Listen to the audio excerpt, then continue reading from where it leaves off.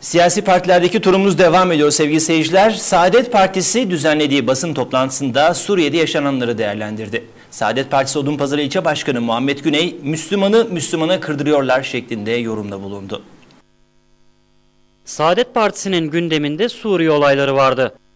Son yıllarda özellikle İslam ülkelerinde demokrasi getirme adı altından bu coğrafyalara kan ve gözyaşı, zulüm ve açlık getiren Haçlı toplu birliklerinin geri sayımları devam etmektedir.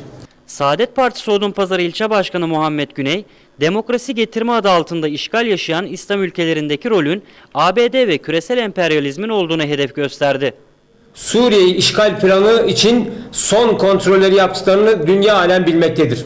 Her gün ateş çemberinin büyüdüğü dünyada tespit ve gösterdiğimiz çalışmalarla Saadet Partisi olarak haklı çıkmaktan bıktık. Haklı çıkmaksa bize gurur vermiyor, adeta bizleri üzüyor dedi. Haklı çıkmak ise bize gurur vermiyor. Adeta bizleri üzüyor. Çünkü insanımız ölüyor. Zalimlerin zulmü her güç geçen gün artıyor, şiddetleniyor. İslam aleminde her gün bir zalimi götürmek için daha büyük zalimlikler yapılıyor. Bütün bu gelişmeler yaşanırken hala ABD'den, Fransa'dan, İngiltere'den İslam alemi için huzur, barış beklemek ise ahmaklığın ta kendisidir.